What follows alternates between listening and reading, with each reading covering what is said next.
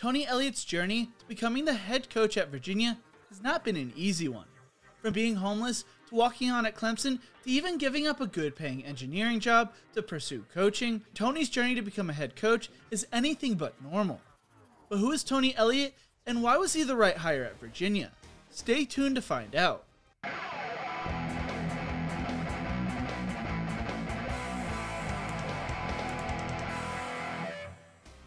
Before we get into whether Tony Elliott was the right hire for Virginia, let's talk about his backstory. Tony Elliott was born on November 26, 1979, in Watsonville, California. When Tony was four, his parents separated and he lived on the streets of Los Angeles with his mom and sister for a period of time. During that time period, Tony was nearly killed when a truck hit him as he stepped into the street outside the salon his mom worked at. The accident left him with a broken arm, four broken ribs, severe road burn, and a lacerated spleen. After undergoing life saving surgery, Tony had to learn to walk again.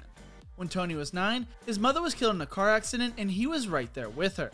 After the car accident, Tony's father wanted him to come live with him, but was then sent to jail. As a result, Tony and his sister were sent to live in Atlanta with their father's brother until he got out.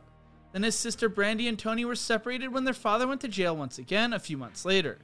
Elliott focused on keeping his life on track and moved to James Island, South Carolina, which is near Charleston, to go live with his aunt and uncle. The family didn't have enough money to support both children, so Tony's sister went to go live with their other aunt in Atlanta. Tony spoke on the separation from his sister, telling ESPN back in 2015 There were a lot of nights when I cried myself to sleep, wanting answers. I wasn't mad at anyone. I just wanted answers. The entire time, I had a little sister who looked up to me and saw me as her dad, mother, and big brother. Tony turned to sports as an outlet, going on to become a basketball and football star at James Island High School. He was recruited by several FCS programs, including Furman, Wofford, and the Citadel, and he eventually chose an appointment to the U.S. Air Force Academy Preparatory School in 1998. However, after a year in Colorado Springs, Colorado, he decided a military career wasn't the right fit for him. He told ESPN, I thought I was there for the wrong reasons. I was there to play football and I thought I was taking someone else's spot. He returned to James Island, where he would get a job as a cashier at Publix, as well as a construction laborer job to save enough money for college tuition. In 1999, he enrolled at Clemson and walked onto the football team as a freshman, playing wide receiver. He lettered in four straight seasons and earned a scholarship as a junior. As a senior in 2003, Elliott was named a co-captain and had 23 catches for 286 yards with one touchdown.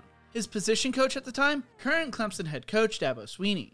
Swinney told ESPN he was such a great leader, and I had such great respect for him. He was a student of the game, I could never give him enough. He was a meticulous note taker and would always ask great questions. He was always about maximizing his ability and loved his teammates. One of the things I always loved about him was that he was always trying to serve his teammates. He also continued to support his sister using part of his scholarship money to make sure Brandy had what she needed. After graduating from Clemson with a bachelor's degree in industrial engineering, Elliott took a job with Michelin North America in 2004. Although Elliott was making good money and seemed to have a bright future with the company, he wasn't completely satisfied. He missed football and believed his own experience in life would make him a good mentor for kids. While working as a volunteer football coach at a high school in Easley, South Carolina, Elliott realized what he wanted to do with the rest of his life. Elliott spoke on the decision to leave his job, saying, I was making great money, had a great job, and a great boss. I just felt a little empty inside. I needed something to validate my purpose. Elliott spoke with Dabo about quitting his job, and a week after quitting, he married his wife and then started his first coaching job at South Carolina State in 2006, an FCS school. Two years later, he became the wide receiver coach for Furman. Swinney saw that his friend was a rising star in the coaching ranks and said, I told him to just bloom where you're planted and be great at whatever you're doing. That's the epitome of Tony Elliott. I was so proud of him. I knew I could hire him when the right time came. I told him he needed to be ready when the time came. Hey, you! Yeah, you!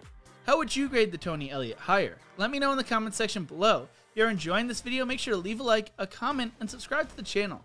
I would really appreciate it because it really helps the video in the algorithm. In 2011, Swinney invited Elliott over to his house for dinner and offered him a job at Clemson. Tony would accept the position and would go on to coach the running backs for four years, and then had the keys of the offense handed over to him after Chad Morris left to become the head coach at SMU. He served as the co offense coordinator with wide receiver coach Jeff Scott. Scott told ESPN, I think he has a great demeanor, and he and I get along very well. Our personalities are a great fit. We've been in the same offense together and we've been in the same meetings. It's been a seamless transition. In 2017, the Tigers went on to beat Alabama to win the national championship. The following season, Elliott was given the Broyles Award, which is given to the top assistant in college football. In 2019, Elliott called the plays in Clemson's 44 16 win over Alabama in the national title game. He served as the primary offense play caller for the Tigers from 2015 to 2021 and coached the running backs and tight ends while at Clemson.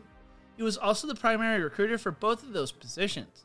In 2021, he was named the associate head coach, and during his time as the primary play caller at Clemson, he helped lead the Tigers to an 89 10 record.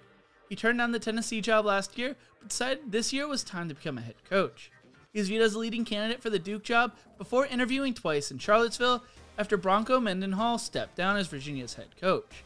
On December 10th, Virginia named Tony Elliott the 41st head coach for the Cavaliers football program. At one point, there were talks that the deal may fall through after it hit a snag in negotiations, but that was quickly resolved.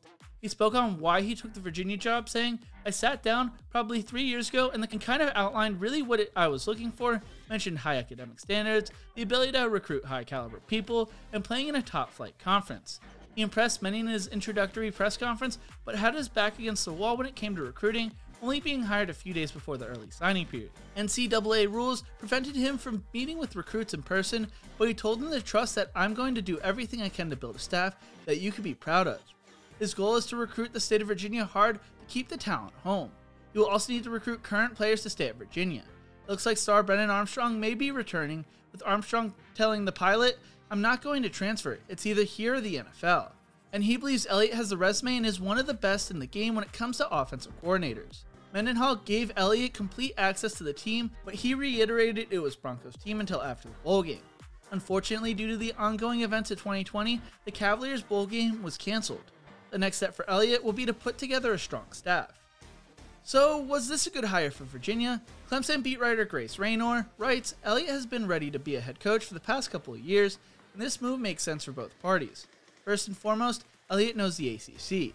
He has spent more than a decade at Clemson and can recruit this part of the country well. He's known for being down to earth and his ability to connect with prospects. Virginia has lost many recruits to other ACC programs, but perhaps he can keep some of that top talent home. Secondly, Virginia's administration will love that Elliott is a former engineer. The school has a strong academic background, and Elliott, who formerly worked at Michelin, worked as an industrial engineer before getting back into football. Personally, I think it is a great hire for Virginia. Elliott is a great recruiter and comes from a winning culture. He's extremely smart, which means he will fit in well at Virginia, which has high academic standards. He has coached in the ACC for decades and knows the landscape. I think this should be a fun team to keep an eye on in the coming years. But what do you think? Was Tony Elliott the right hire for Virginia? Let me know in the comment section below. Thank you so much for watching. If you enjoyed this video, make sure to check out my other videos right here. Don't forget to leave a like, share, and subscribe to the channel, and as always, remember to embrace the grind.